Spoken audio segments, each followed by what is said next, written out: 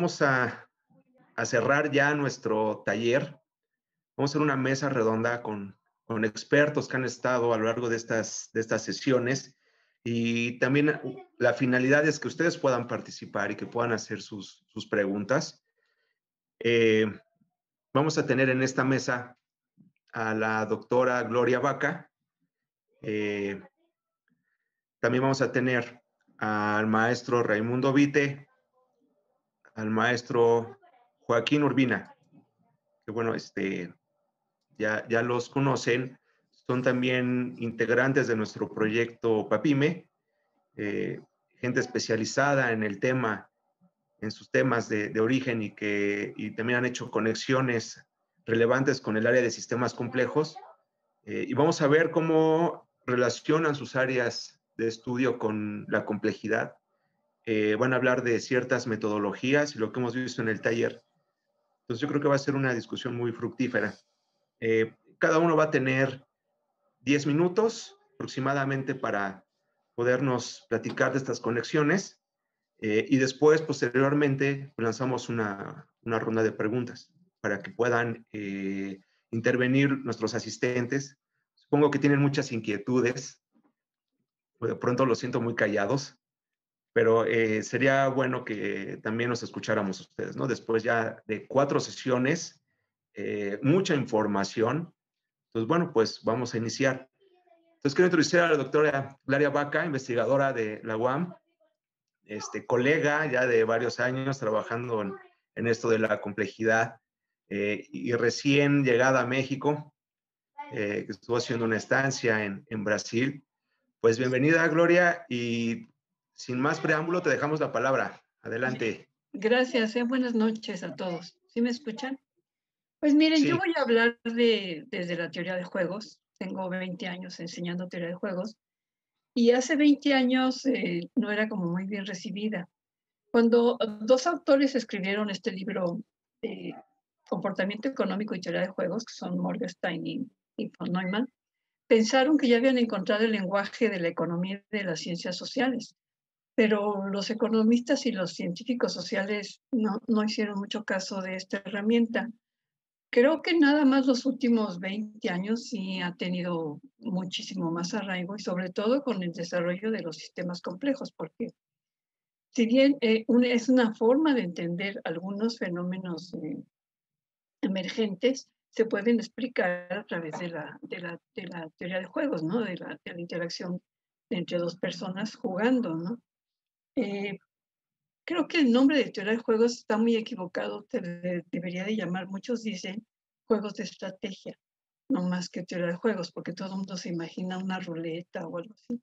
Y no, más bien es qué, qué pasa con las interacciones entre personas, cuáles son los, las estrategias que deben de seguir para llegar a buenos resultados. Eh, y yo quería hablar sobre todo del artículo de Garrett Harding, que es la tragedia de los comunes, porque está muy actual, ¿no? Sus palabras y lo que escribe ahí. No estoy muy de acuerdo con todo el artículo, pero fue muy importante, fue escrito en 1968.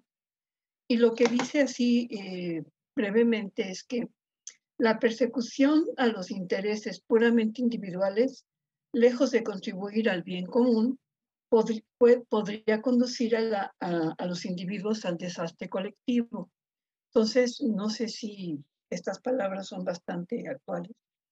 Y estamos en un desastre colectivo. Yo no sé cómo vean ustedes la pandemia, pero algo pasó que, está, que, que, no está bien. Entonces, yo creo que la racionalidad que menciona Harding en este artículo, de que todos tenemos que maximizar, vamos a maximizar la ganancia, nos ha llevado y nos llevará a desastres terribles y esperemos que no y que todo esto cambie, pero yo creo que es muy importante enseñar a pensar de otra manera y entender la vida de otra manera. Y, y este artículo yo creo que nos puede dar mucha idea de, con un simple ejemplo de la teoría de juegos, cómo dos personas tratando de maximizar sus intereses pueden llegar al desastre de los bienes comunes. Entonces, yo creo que la teoría de juegos, con su simplicidad, parece ser puede representar muchísimas situaciones y puede explicar muchas cosas. Entonces, pues, y, dar lugar a, pues a, comportamientos emergentes, como ya dije, cosas que no se podían explicar eh, a partir de, las teorías económicas vigentes, ¿no? Entonces, yo creo que hay que pensar sobre, sobre, sobre lo que ya nos advirtieron estos autores y, y, pensar de otra manera, tratar de pensar de otra manera. Y no, no sé si, porque tenía el ejemplo de, de este señor de Garrett, su artículo, pero bueno, yo creo que es muy conocido y nada más me gustaría, eh, me eh, pensé traerlo a colación, porque pues bueno, en eso estamos. Bueno, no sé si eh, me fui muy rápido. No sé si hay que ser muy detallada y muy puntual, pero eso era lo que yo quería decir. Eh, no sé. Por mi parte es todo. Sí, gracias, Sí, ahorita regresamos. Hacemos una pequeña intervención y bueno, vamos con, con Raimundo. Adelante, de Ray. Gracias, Gloria. Voy. Em, de acuerdo. Em, yo quería eh, tomar dos, reflexiones. Una, una que está más eh, dirigida hacia, hacia los sistemas no lineales en economía y, y lo otro tiene que ver con esta idea del cambio estructural. ¿sí? Eh, eh, lo primero tiene que ver con este cambio de paradigma. ¿sí? La forma en la cual hemos sido educados con una fuerte dosis ¿no? del, método científico, pero también de, de ver al mundo eh, de ver también eh, la ciencia eh, como un avance progresivo, acumulativo, pero a fin de cuentas lineal. ¿sí? Y, y bueno, a raíz de, del surgimiento de los sistemas complejos, a partir de los años 80, pues comienza, a finales de los años 80 principalmente, pues comienza ya a permear cada vez más esta idea de que ver a los fenómenos, inclusive a la misma ciencia, el avance del conocimiento, como fenómenos no lineales. Y bueno, y de aquí entonces eh, las bases, ¿no? Los fundamentos pues ya vienen desde antes, ¿no? Eh, y ha permeado cada vez más en varios campos como pues la biología, la química, la física, eh, la economía y las ciencias sociales. Eh, el asunto es, tiene que ver también em, cómo logramos que nuestros alumnos se apropien de e, estas ideas, ¿no? Y en los programas, eh, en los planes de estudio no los encontramos. A propósito de la pregunta que, le hice al doctor Mancilla en la mañana. A mí me preocupa, eh, eh, pues que este avance pues tiene que comenzar desde nosotros, los, la docencia, ¿sí? Eh, más que a partir de un, plan de estudios. ¿sí? En los planes de estudio eh, se discuten ahí, hay cuestiones políticas, ideológicas. Uno quisiera ¿no? Que solamente eh, estuvieran las académicas en el centro, pero no es así. Entonces, yo quería nada más llamar la atención por esta vía. Ahora bien, en economía, por ejemplo, eh, el enlace eh, fuerte, pues es eh, entre esta relación del pensamiento heterodoxo con, los, con la parte no lineal. ¿Sí? en las escuelas heterodoxas, em, encontramos ¿no? estos elementos eh, eh, dinámicos, encontramos una noción de economía evolutiva, hay modelos del ciclo económico este, en donde tienen una riqueza dinámica pues muy, muy, muy fuerte. Y, y, sin embargo, eso eh, se ha abandonado, ¿no? Hasta ahora, ya con los sistemas complejos, es, se comienza a retomar. ¿sí? Eso es bueno. Eh, eh, y entonces, quisiera entonces enfatizar mucho en esta idea de la no linealidad. Cómo cambiar esta percepción del mundo, ¿no? Cómo pasar de la parte lineal a la no lineal, ¿sí?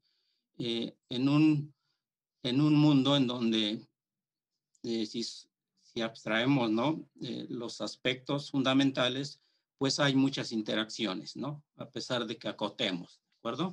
Entonces, yo quisiera dejar este mensaje hacia hacia el público, eh, a los alumnos, eh, de ver eh, esas relaciones no lineales. ¿no? Este, em, aunque en el aula sabemos que el, el, grueso ¿no? de, de, la enseñanza pues va a seguir siendo lineal, ¿de acuerdo? Pero, pero cada vez más va a ir permeando esta idea de no linealidad. ¿sí? Em, otro, en, cuanto a la noción de cambio estructural eh, y la relación con los sistemas complejos. Em, los primeros estudios en economía, ¿no? Sobre esta idea del cambio estructural, entendido como eh, un proceso de largo plazo, ¿no? Eh, que existe en una economía en donde un modelo económico por ejemplo, el modelo de sustitución de importaciones, por, ejemplo, el modelo de apertura, eh, eh, puede incidir ¿no? En los patrones de acumulación ¿no? de los países. Y cómo eh, a partir de este proceso em, este, logra tener efectos, ¿no? a veces más perjudiciales que benéficos. ¿sí? Hablo del modelo de apertura. Em, eh, el modelo de apertura, si pensamos en esta idea muy general del cambio estructural, por ahí hay unas definiciones más específicas, más acotadas en el campo de los sistemas complejos que ahorita voy a mencionar. Em, o al menos voy a referirme a una. Eh, eh, y dije, con graves efectos este, el, modelo de apertura. México Mm, al igual que otros países de América Latina, pues, eh, pues son países con graves problemas estructurales.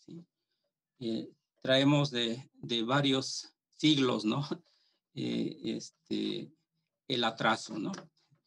Económico, em, ¿Y qué problemas estructurales tenemos en común qué problemas estructurales tienen estas economías latinoamericanas, ¿sí? Ustedes ya se darán una idea, ¿no?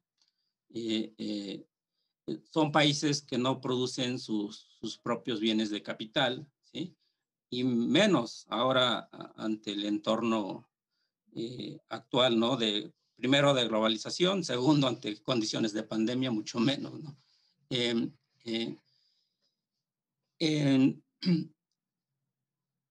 no tienen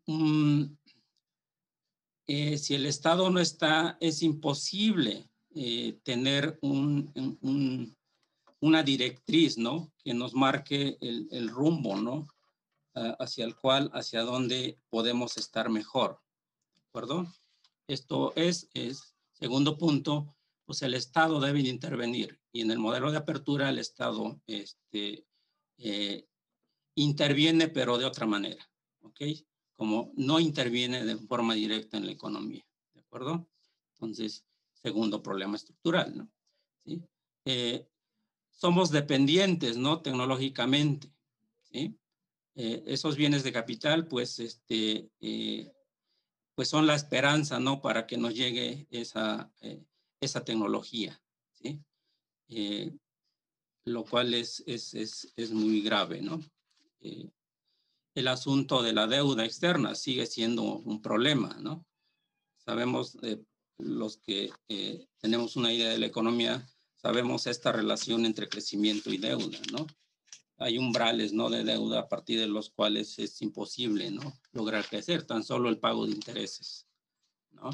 Em, ¿Qué otro eh, efecto, qué, otro problema estructural? El problema del, del desempleo, ¿no? Un, un, empleo, un, un, empleo que cada vez es informal, pues es un mal indicador, ¿no? Eh, por ahí los nuevos marxistas le llaman precarización, ¿no? De la fuerza de trabajo. Entonces, eh, eh, muy, muy, muy grave el asunto, y así nos podemos llevar todas las horas, ¿no? Algunas horas hablando de estos problemas, ¿sí? Eh, ¿Cómo podemos ver en perspectiva ya a partir del análisis de los sistemas complejos, eh, eh, pues involucrar estas nuevas ideas, ¿no? tomar en cuenta que nuestro país pues tiene un potencial enorme, el asunto es cómo canalizamos, ¿no? Ese potencial. Y, bueno, eh, y, aquí la idea es em, eh, pues recuperar, ¿no? Esos, em, esas virtudes, ¿no? Esas cualidades que como pueblo, este, pues eh, tenemos, ¿sí? las producciones de antaño, igual y más amigables, ¿no? Con el medio ambiente, ¿sí? hay ejemplos, ¿no? Hay experiencias, ¿no? muy, este, enriquecedoras, ¿no? a lo largo de, pues, varias épocas en México, ¿sí? Eh, por ejemplo, hablo de los cultivos en Tenochtitlán, por ejemplo, ¿no? Este, ahí tenemos también este, los viveros, ¿no? De, en Xochimilco, ¿no? etcétera, ¿no? Y otros ejemplos en, en, en, provincia, ¿no? En Oaxaca, en Yucatán, ¿no? y Em, esto quiere decir que tenemos que involucrar todos estos aspectos, ¿sí? Y, y, terminar diciendo con esta idea, ¿no? De, de que eh, la, el cambio estructural, pues es un proceso de transformación y adaptación, sí que refleja la manera en que la economía responde ante eh, condiciones del entorno, pero son varias, varias, varios aspectos, ¿no? No solamente el tecnológico, está el cultural, ¿sí? Eh, por, por, por, hablar, por rescatar al menos uno, ¿sí? Yo aquí le, le dejaría, ¿sí? Y dejar que el público participe también. Muchas gracias, Ray, por sus comentarios. Eh, pues bueno, vamos a dar paso al maestro Joaquín para que diga algunos comentarios también. Gracias, buenas noches. Pues ha sido una, un gran evento, un, un, gran, ¿cómo decirlo? Uh, un, viaje por distintos conceptos, aspectos de los sistemas complejos. Habría que preguntarse, eh, pues bueno, en particular sobre los métodos. Eh, a mí me tocó, por ejemplo, trabajar eh, un modelo sobre votaciones y entonces, de ahí, este, la, la experiencia ha sido pues, muy, muy, muy gratificante por la posibilidad de acercarse a estudiar fenómenos eh, sociales, fenómenos que no son tan fáciles de abordar ni que, ni que no se pueden explicar de una, con las herramientas tradicionales. Eh, me refiero a las herramientas matemáticas tradicionales, ¿no? Los, eh, los algunos científicos, no sé, los físicos, los matemáticos, tienden a idealizar las cosas para, pues, si van a estudiar una vaca, pues la vaca tiene forma de cilindro y esa forma la puedo estudiar muy bien. Si quiero estudiar eh, una sociedad, pues pienso que todos actúan igual, piensan igual, reaccionan igual, y entonces eh, eso me facilita el estudio. Pero bueno, la, realidad es, es, complicada. No, no podemos usar las herramientas de esa manera para que se obtengan resultados que yo pueda expresar o interpretar. Afortunadamente están los sistemas complejos, ¿no? Habría que preguntar si podemos, ah, con la herramienta moderna, eh, trascender los conceptos limitados que tenemos sobre los procesos que hay inmersos en los fenómenos sociales, por ejemplo. Y bueno, regreso al ejemplo de las votaciones. Este, hacer una encuesta podría darme alguna idea de cómo una sociedad piensa respecto a una decisión de voto, pero es muy complicado. Eh, los fenómenos cambian con el tiempo, los fenómenos son dinámicos, los fenómenos son complejos. Sin embargo, la, herramienta de sistemas complejos tiene eh, esta ventaja que puede ah, darnos una aproximación. Hemos hablado de los modelos y al final los modelos descriptivos y los modelos predictivos, que son los que hemos utilizado, eh, se complementan, no son eh, uno mejor que el otro y no tenemos, eh, no, tenemos por qué conformarnos con el conocimiento que nos da uno si podemos completarlo con los, dos, los dos tipos de enfoques. en el caso de los fenómenos sociales, por ejemplo, los que se han abordado en este día, las redes sociales que decía Carlos Piña, o este, las hipótesis del comportamiento del mercado, ¿no? Con el doctor Mancilla, pues este, requieren elementos computacionales muy fuertes. Y una pregunta que habría que hacer, ¿no? Es, ¿es relevante que con el solo manejo de la herramienta pueda yo obtener conocimiento nuevo de los fenómenos sociales? Bueno, hay que dejar esa pregunta como para establecer lo que hemos hecho a lo largo del curso. No hemos estado usando el software para justificar que se pueden hacer sistemas complejos. Es mucho más que eso. El software es una herramienta y las herramientas computacionales de ahora pues son muy poderosas, pero eh, se requiere una base teórica eh, importante y esa base teórica creo que está accesible a muchos científicos sociales.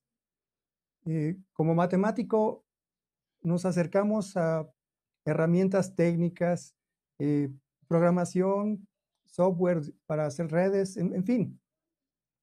Pero si yo no sé qué hacer con la información, si yo no tengo una idea cómo interpretar lo que se obtiene en una red, por ejemplo, pues de nada me sirve conocer el manejo del software si no puedo interpretar lo que me entrega el software.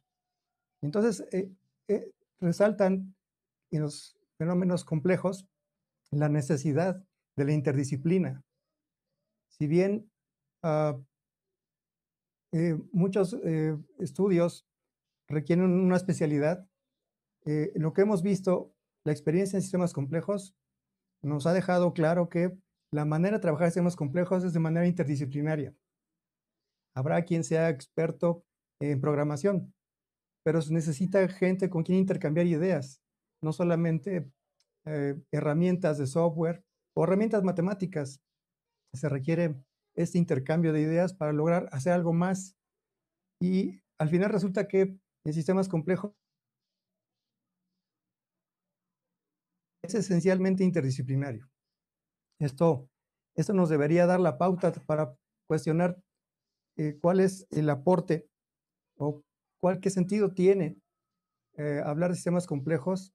Como ya se ha preguntado, ¿no? En, la educación, en, la universidad, por ejemplo, si tenemos eh, constructos teóricos que siguen siendo lineales, repetitivos y que nos dejan la impresión de que tal vez lo, la intención no es estudiar para mejorar, sino estudiar para tener todo, todo como se ha tenido siempre, ¿no?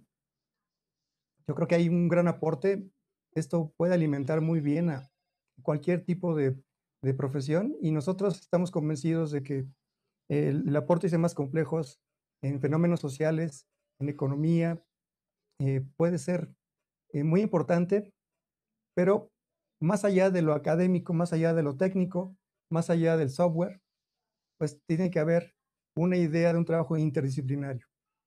Y bueno, pues los enfoques complementarios, ¿no? Las, formas de pensar. De, pronto tenemos un, modelo que simula las epidemias con ecuaciones diferenciales, con un enfoque desde arriba hacia abajo. Pero también tenemos modelos basados en agentes que las pueden simular desde abajo hacia arriba. Y podemos aprender de esos modelos sin quedarnos con la impresión de que si no me explica todo, no me va a servir. Entonces, creo que también ese tipo de enfoques, ese tipo de experiencias, ese tipo de conocimientos son los que hemos tratado de compartir en esta experiencia de cuatro días.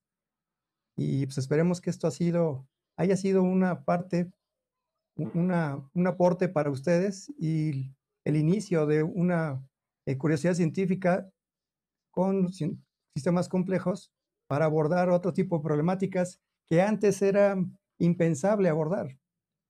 Estamos viviendo una época increíble. Fenómenos ah, de antropología, fenómenos sociales, económicos, que antes no tenían una explicación y que nadie se atrevía a modelar por, por la, eh, la, herramienta limitada que teníamos. Entonces, pues yo celebro que estemos trabajando en la difusión de estas ideas y pues yo dejo ahí una especie de resumen o de repaso de todo lo que hemos este, observado y compartido con ustedes. Si, si hay más preguntas, pues podemos entonces eh, tratar de abordarlas, hacer, ampliar las dudas si es posible. Gracias. Muchas gracias, Joaquín. Eh, muchas gracias a nuestros tres eh, panelistas. ya dieron algunos comentarios, algunas reflexiones, algunas provocadoras. Y espero que esto pues provoque en nuestros asistentes algunos comentarios. Entonces, pues veamos, ¿quién, ¿quién quisiera hacer una pregunta, tomar la palabra? Hola, a mí me gustaría. Adelante, Oliver. Bueno, pues... Perdón, solamente una, este, una, una acotación.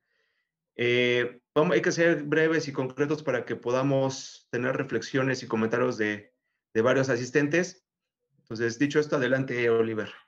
Ah, pues primero muchas gracias y felicidades por el taller, ¿no? el gran taller que impartieron a todos los involucrados y los ponentes del día de hoy.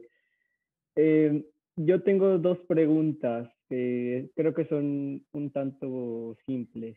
La primera es cómo nos al buscar crear modelos de problemas que ya, bueno, de problemas preexistentes como fue el caso del metro, ¿no? ¿Cómo, empezamos a modelar mm, sin tanto sesgo? O sea, en muchas ocasiones sabemos lo que sucede, pero ¿cómo modelamos sin, sin que eh, sin que nuestro querramos que nuestro modelo tienda hacia lo que sabemos que es para que los modelos puedan ser modelos generales en vez de específicos.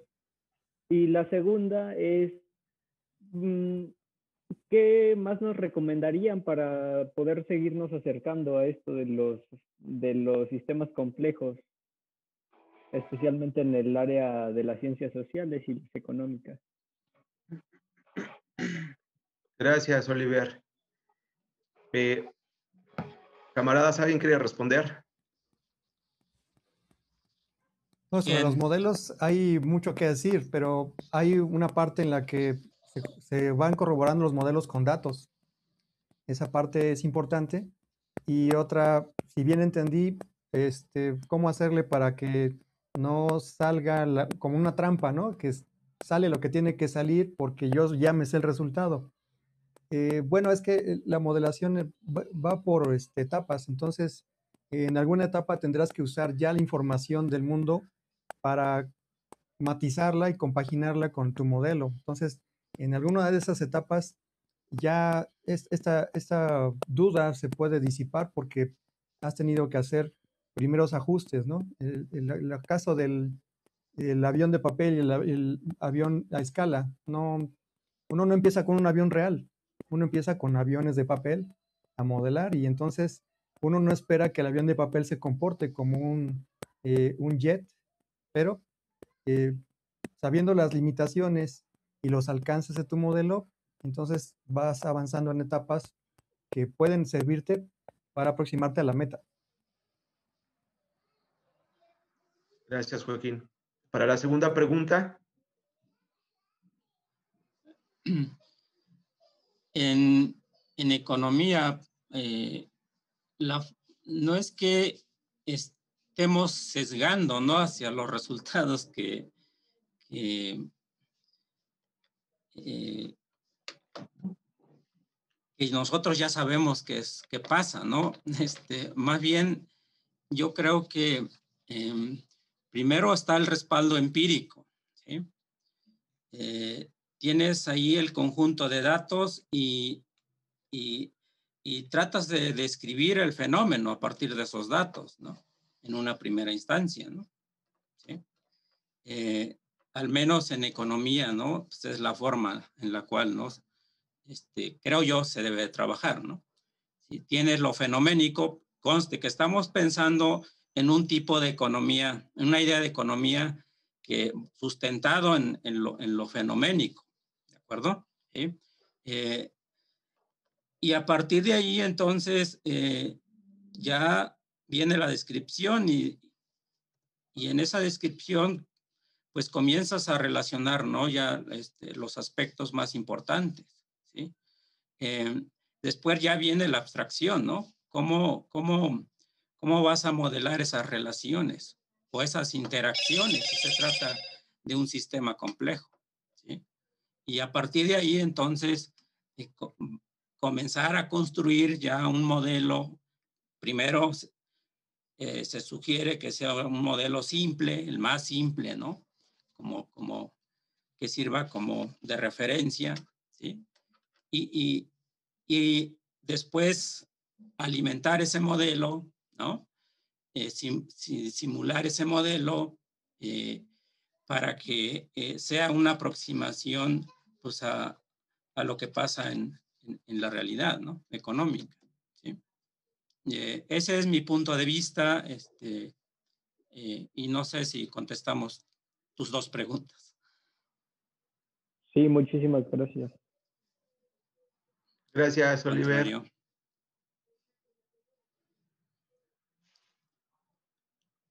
Eh, ¿Alguien tiene alguna otra pregunta? Pregunten, chicos.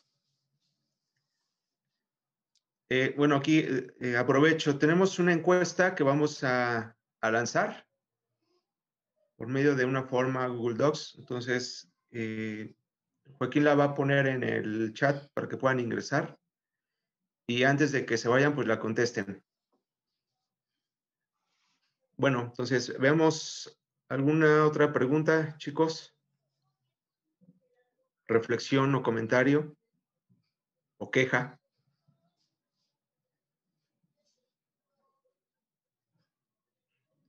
Miguel Arón Torres pregunta, mi pregunta es si tienen algún texto introductorio hacia los sistemas complejos.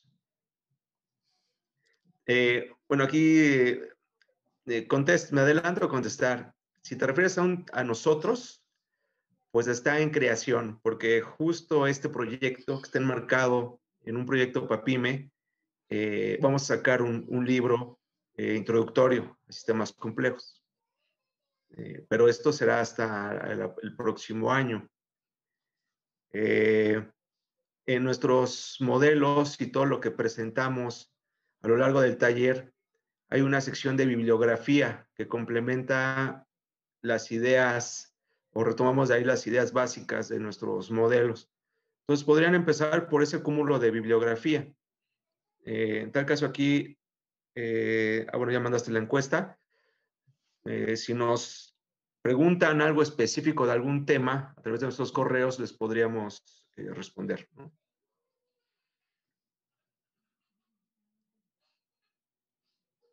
Enrique García dice, ¿existe algún antecedente de la aplicación de los sistemas complejos a cuestiones de competencia económica? Em, pues desde, el punto de vista de los sistemas complejos, este, pues sí hay algunos, ¿no? Y, bueno, uno de ellos, por ejemplo, em, la competencia por un recurso, ¿no? y, el modelo eh, del bar El Farol, por ejemplo, pues puede servir en, pues una primera aproximación como también como un fenómeno de, mercado, ¿sí? En donde eh, este, eh, la toma de decisión, ¿sí? está involucrado, ¿sí? Eh, la dinámica de precios se puede involucrar también. Este, eh, eh, y por ahí este, también hay algunas referencias. ¿sí? Este, si están interesados, pues este, les hacemos llegar ¿no? Esas referencias. ¿no? Pero sí, pero estos modelos, pues, este, de competencia, pues dado que los agentes son heterogéneos ¿no? Y, no hay racionalidad completa, entonces eh, no es de naturaleza neoclásica, ¿de acuerdo? Sí, sí este, nada más para poner en contexto. Oye, eh, los modelos de Cournot y de Bertrand también son de competencia económica y son ah, sí. predecesores, ¿no? Claro, se me olvidaba eso, sí. Exacto, Gloria, sí dio lugar a, bueno, a muchas cosas. No, y es, son introductorios, ¿no? Para comenzar a, analizar este, competencia, ¿no? Monopólica, ¿no? Oligopolística, ¿no? Todo eso, sí, sí. Gracias, Ray. Eh, tenemos otra pregunta. Diego Estrada dice, ¿qué opinan sobre la teoría fundamental de Wolfram ¿Creen que estas herramientas puedan dar luz a respuestas tan importantes? Ay, a mí me gustaría responder eso. Adelante. Porque, bueno, Wolfram es uno de mis científicos este, preferidos. Creo que todos tenemos un científico preferido, ¿no? Bueno, para mí es Turing, pero Wolfram sería entre el segundo y tercero. Pues, pues justamente hemos explorado aquí metodologías bottom-up, ¿no? Es decir, este, definiendo las cosas desde las interacciones, desde eh, pues la transformación de la información, el flujo de la información eh, y el espacio. Y en todo lo que toca aquí Wolfram, pues es algo importante porque aparte de que mide cómo es esa transformación de la información en, el espacio, plantea cómo debe ser este espacio. Y entonces, eh, pues ese espacio no es eh, continuo, sino es fragmentado, incluso en algunas situaciones eh, de escenarios que no son viables, porque Wolfram tiene ahí toda una jerarquía de, constructos y escenarios a través de pues, autómatas celulares, es decir, lo vea a través de, de, la transmisión de información. Entonces, pues es algo que está permeando en el ambiente científico. Eh, falta que pues las demás disciplinas, sobre todo los físicos, pues la retomen, la, estudien, la analicen, pero estamos en esto, estamos eh, haciendo conexiones con diversas disciplinas eh, a tomando los fenómenos desde la complejidad, desde su estructura y las relaciones. Yo creo que Wolfram ha hecho avances muy, muy importantes desde, desde los ochentas, ¿no? Yo creo que sí se puede retomar, y, pero, pero digamos, va a ser complementaria a todo lo que ya sabemos. Eh, la física ha explicado muchísimas cosas en la estructura del universo y su comportamiento y por supuesto sigue avanzando, pero yo creo que estas teoría, estas eh, alternativas nos podrían dar indicios para ver hacia dónde, hacia dónde van las cosas también, ¿no? Yo creo que son complementarias y lo que falta es el diálogo entre las diversas disciplinas. Yo creo que eso es lo que eh, sistemas complejos nos permite, dialogar con diferentes disciplinas, hacer el constructo de nuevo conocimiento y bueno, pues, pues para allá vamos. Gracias, Diego. Eh, es para debatir mucho más, claro, pero este, bueno, pues vamos, vamos para allá.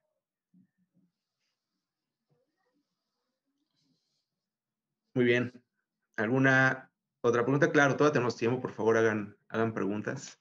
Aprovechen aquí a nuestros panelistas, a la doctora Gloria Vaca. Sí, si, no hay, este, yo, yo quisiera eh, preguntarte algo, Gloria, mientras eh, nuestro público se anima, eh, y sobre todo sobre este puente con teoría de juegos y complejidad, porque desde los, digamos, estudios o de la propuesta de von Neumann de teoría de juegos, pues, pues se han retomado y han construido muchos conceptos también, pero la complejidad, ¿qué es lo que aporta? A verlo como sistema complejo. ¿qué, aporta hacia la, teoría de juegos? ¿Sistemas complejos? Es que no bien es al revés. El, paradigma de complejidad. O sea, ¿qué, le aporta sistemas complejos a la teoría de, juegos? O viceversa, como lo ah. quieras ver. creo que es, más bien al revés. ¿Qué hace la teoría de juegos para la complejidad? Más bien, para, para describir un sistema complejo. Porque como bien decía este Raimundo, los fenómenos son no lineales, los, los, agentes son no heterogéneos. Entonces eso me permite a mí, este, desde la teoría de juegos, eh, modelar ciertos fenómenos, ¿no? Pero yo creo que es, es importantísima la teoría. Sin ella no creo que se hubiera podido desarrollar los, los conceptos, los conceptos de la teoría según yo. No sé pero es más bien así. Ahora la complejidad, bueno, no sé.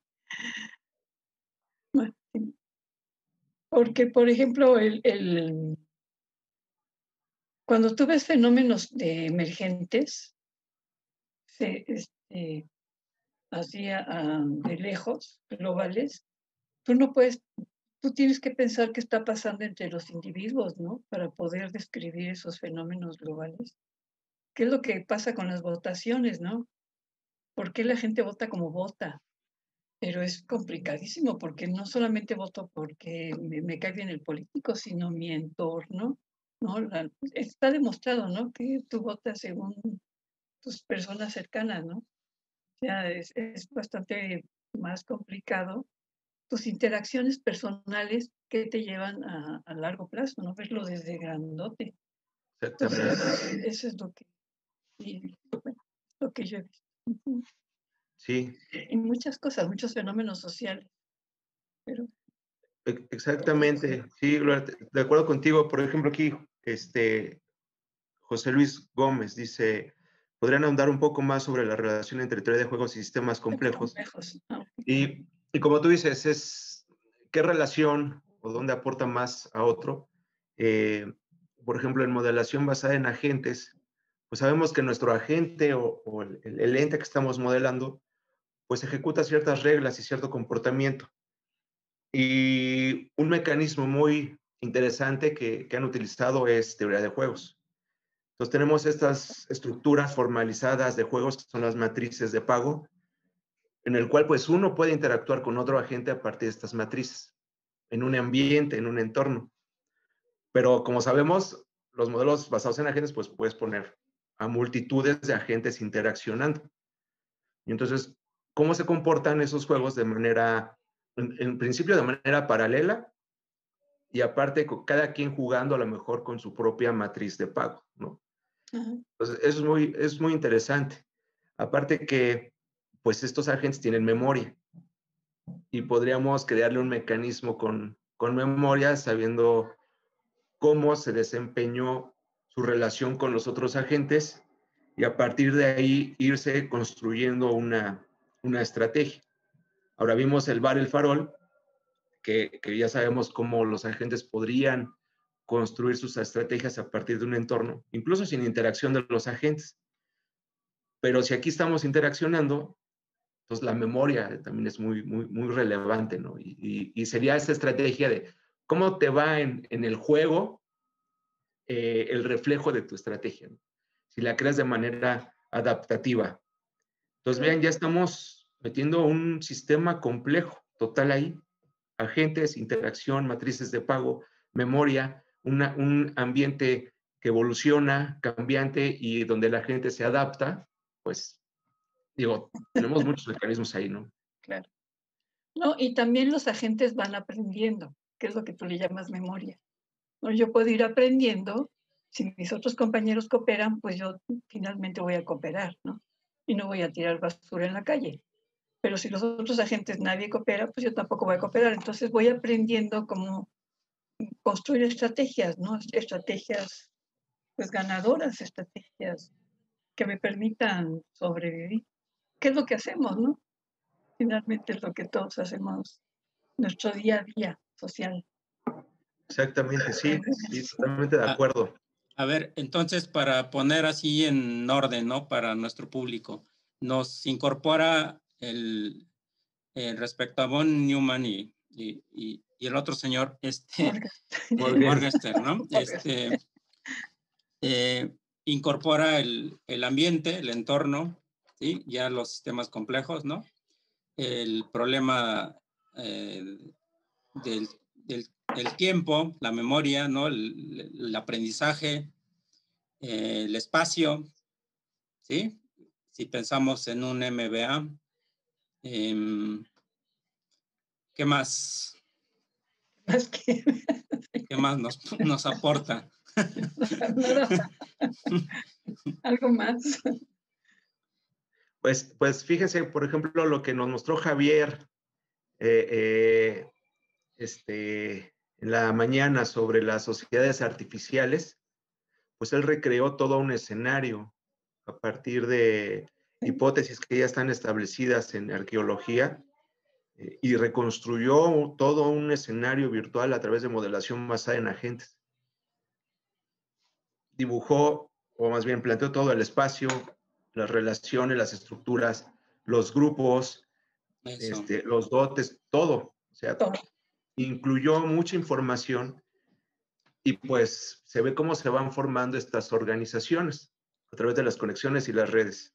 Entonces, es, es llevado MBA pues a un nivel ya muy fino.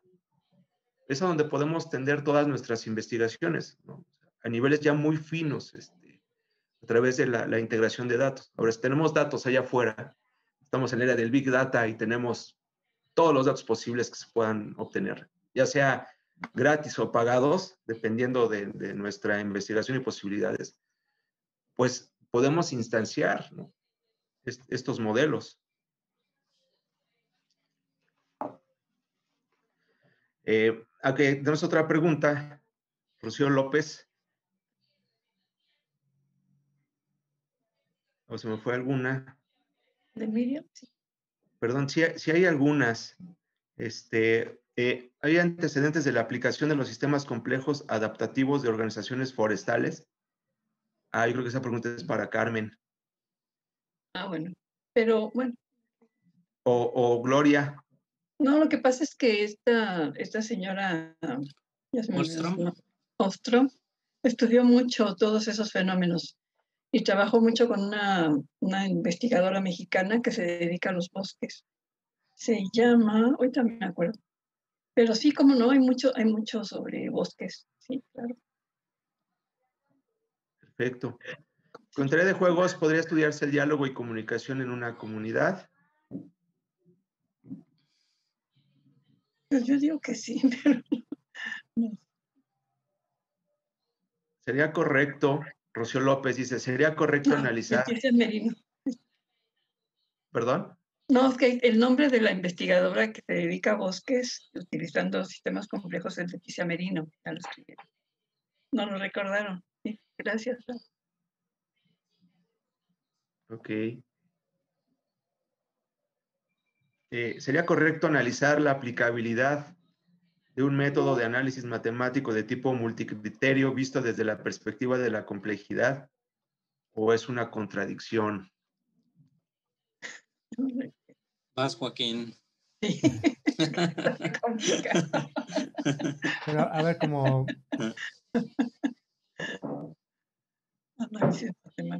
La teoría, la teoría de juegos está, está modelando la, la cooperación, por ejemplo, ¿no? Entonces ya hablar de cooperación humana ya es un logro, yo creo, ¿no? Intentar modelarlo. Ah, sobre la aplicabilidad, dice de un método de análisis matemático multicriterio visto desde la perspectiva de la complejidad. Pues es que como en sistemas complejos se analizan dinámicas, es importante ubicar eh, cuál es la dinámica que nos interesa. Por ejemplo, ah, no sé, un ejemplo, a mí me tocó revisar la, dinámica del cambio de opinión en una eh, decisión de voto. Entonces, tal vez uno puede simplificar las cosas pensando que las interacciones con los vecinos me van a a dar la pauta de qué tan probable es que mi voto o mi decisión de por votar una ah, preferencia electoral cambie si mis vecinos influyen en mí. Eso como que simplifica las cosas en el, en el conteo de variables. O sea, una recomendación es no llenarse de variables, porque eso es este, una, como que una receta para llegar a resultados muy complicados de interpretar. Y lo que decíamos aquí, ¿no? un modelo entre más simple es, es mejor, pero no tan simple que no me diga nada. Entonces, es una cuestión incluso artesanal. Eh, modelar requiere práctica y requiere equivocarse muchas veces. Entonces, sobre la cuestión multi eh, pues, no sé, yo creo que en un modelo, por ejemplo, de votaciones donde mis vecinos influyen y yo puedo ser influenciable, ya tengo dos criterios ahí que van a hacer que mi modelo progrese en una dirección. Entonces, sí, sí se, sí se hace.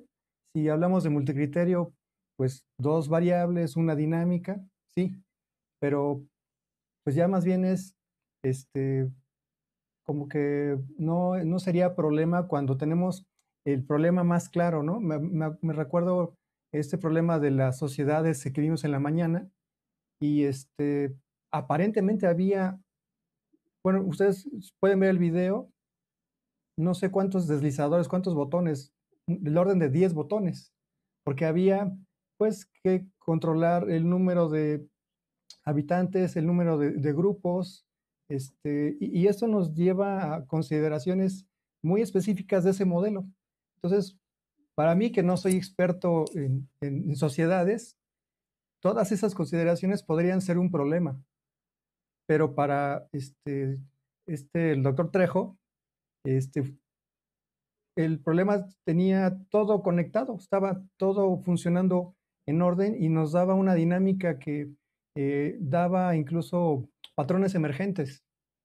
Entonces, desde una perspectiva, este, podrían ser muchas variables, pero desde, una, eh, desde otra perspectiva, como la del doctor Trejo, ese modelo estaba completamente coherente, conectado y estaba en proceso incluso de, estudiar cómo eran eh, unas cuestiones de sociedades y se tenían datos de cómo se comportaban esas sociedades, pues incluso estaba reflejando con datos reales este, el comportamiento de una sociedad. Entonces, yo creo que en concreto, pues depende de lo que estés modelando y depende tu comprensión del problema, porque eso va a lograr que modelos con muchas variables y obtenga resultados muy, muy concretos, muy importantes como los de los modelos de la mañana.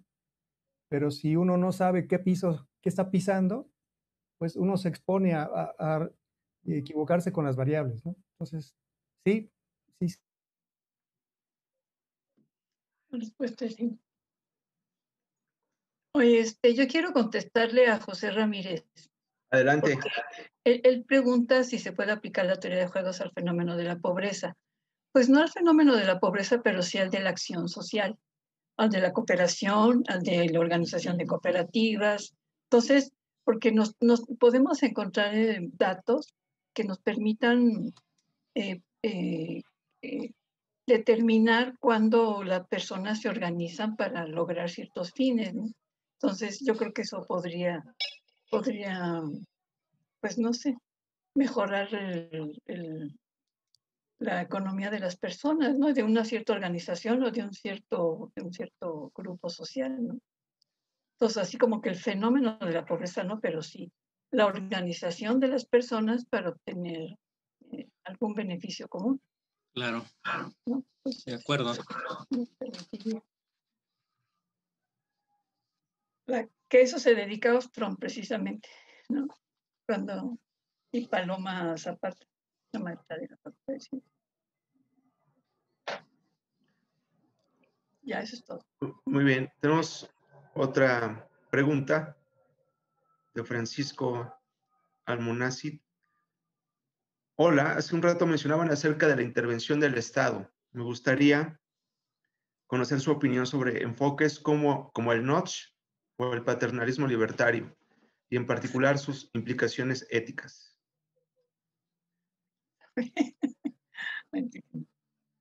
paso, paso. El paternalismo libertario. ¿Qué es eso? No, yo no lo había escuchado. No, no lo había escuchado. Primera vez que lo escucho. Yo también. ¿Alguien?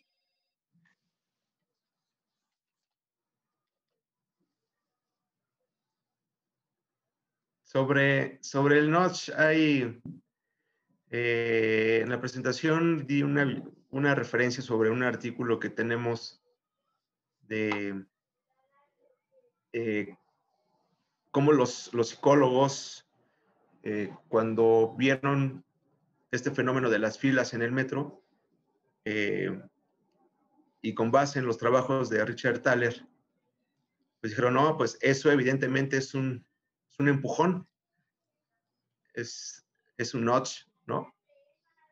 Eh, pero bueno, aquí en sistemas complejos lo vemos todo como un sistema dinámico. Eh, entonces, pues a través de, de, estas simulaciones nos ayudan a definir ciertos escenarios y ciertas intervenciones, sobre todo la viabilidad, ¿no? Es, una herramienta para ayudarnos a decidir. Eh, si tú vas a aplicar un notch es porque pues sabes muy bien, conoces muy bien el fenómeno eh, y podrías intervenir, por ejemplo, en la selección de una, de una carta en el menú de, de comida, ¿no? Hay estudios donde pues se refleja eso pero en una intervención masiva de este, de este estilo, donde hay miles de variables eh, interviniendo, pues no es tan evidente, no, no, no, no, es, no es sencillo. Entonces ya después se busca el tipo de interpretación y el enfoque y vemos, me he juntado con varios especialistas y pues hay muchas maneras de explicar estos fenómenos de, de la formación de, de gente en el metro pero bueno, este, son perspectivas y teorías, ¿no? Eh, el que el Estado aplique notch a sistemas eh, masivos o que sepa cómo hacerlo, pues la verdad no sé, no sé si, si ya tengan esa posibilidad, pero desde donde, yo te voy a decir desde donde mi conocimiento, pues diría que un sistema complejo eh, tiene un horizonte de predictibilidad, y como ya vemos en los mercados financieros, eh, con Ricardo Mancilla, pues quieren predecir es a nivel de milisegundo, ¿no? Las intervenciones no sabes cómo, cómo, cómo van a suceder. Entonces, bueno, hay que buscar como la, la, parte media entre todo esto de los, los términos, cómo se utilizan los alcances de las perspectivas eh, teóricas de modelación creo que en todos estos días pues nos ha servido para ejemplificar varios escenarios y varios casos de estudio y creo que sobre todo también se vio hasta dónde pueden llegar los modelos. Es lo que, es lo que este, también nos hemos eh, encargado un poco de, de, mostrar. Sobre la otra parte del paternalismo libertario, pues ahí sí no lo sé. este, dice José Ramírez, doctora Vaca, ¿pudiera enviarle algún correo para ampliar la información? Por supuesto, por supuesto. ¿Se lo escribo aquí? Sí, este, dentro, bueno, yo creo que para la siguiente edición del taller, próximo año, eh, vamos a dar esta sección de teoría de juegos, eh, que creo que dejó muchas dudas, ¿no? Entonces ya, ya dejamos ahí la... Sí, hay mucha expectativa con este tema, de juegos y sistemas complejos. Sistemas complejos. E, entonces, este, pues sí, ustedes serán nuestros primeros invitados a considerar. Claro, claro. Eh, pues, ¿quieren cerrar, colegas, la mesa? ¿Algún comentario? Ya al final ya son las ocho. Ya estamos por, por terminar. Algo muy breve. ¿Quieran mencionar? Sí, desde luego, pues agradecer a todos la presencia, el apoyo, el seguimiento y pues dejar aquí nada más uh, la perspectiva de que este es un trabajo inicial, está por desarrollarse un texto introductorio y pues estamos eh, con la expectativa de que esto sirva para futuros proyectos, tesis, este, y desde luego pues inquietudes de investigación y que pues la complejidad los acompañe en sus futuros proyectos. Pues sí, en el mismo sentido, eh, como dice el profesor Joaquín, este, pues no se olviden de este taller. Esto, yo quisiera que, que se apropien de estos dos conceptos, ¿no? Eh, sistemas complejos e interdisciplina. Y, y, comenzar a ver al mundo de, de, diferente manera, ¿sí? Y creo yo que los sistemas complejos eh, es un paradigma eh, que va a cambiar al, al, mundo, está cambiando al mundo. Y tenemos que cambiar nosotros también ya, cambiar el chip de, ¿no? De lo lineal, ¿no? De, este, de la eh, racionalidad completa, ¿no? Este, eh, lo que hay son agentes heterogéneos con racionalidad limitada, ¿no? Eh, su toma de decisión pues, está sujeto a incertidumbre, ¿sí? Tal como lo hemos recalcado, ¿no? A lo largo del taller. Y bueno, pues fue un, un gusto, ¿no? Este, estar con, con todos ustedes y que esperemos que no sea la última vez y que, eh, y que este, más adelante pues sepamos de ustedes, ¿no? Que, es, eh, que sí les sirvió de algo este taller. Bueno, hasta luego. Muchas gracias eh, por la invitación. Estamos en contacto. De verdad. Sí, no, muchas gracias, Gloria, por estar, por estar acá. No, a ustedes por la invitación, gracias. Y pues muy bien, a las 8.03 de la noche, pues damos clausurada nuestro, clausurado nuestro taller en línea eh, a través de la plataforma Zoom. Eh, entonces, pues, estamos muy, muy contentos por el resultado. Tienen los materiales en nuestra página web. Eh, ahí vamos a ir subiendo cosas. Estén al pendiente. También vamos a subir el próximo año materiales de, de, nuestro libro electrónico. Entonces, pues no se desconecten. Quiero agradecer a pues todo nuestro equipo de trabajo, eh, a los desarrolladores de la página, a, a, los chicos que hicieron los modelos, a todos nuestros eh, estudiantes que nos apoyaron, eh, a los integrantes de, de nuestro PAPIME, a todos los profes que, que ya conocen, al Instituto de Investigaciones Económicas por las facilidades en la infraestructura, por supuesto, al doctor eh, y director del instituto Armando Sánchez y a nuestra secretaria académica Isalia Nava por todo, todo el apoyo. Pues muchas gracias. colegas, camaradas, este, estimados asistentes, pues un gusto haberlos tenido aquí. Un gusto, ¿eh? Un gusto haberlos tenido aquí, de verdad, en todas estas cuatro sesiones, que en realidad fueron cinco. Pues bueno, espero que les, que les sirva. Y nos vemos. Cuídense.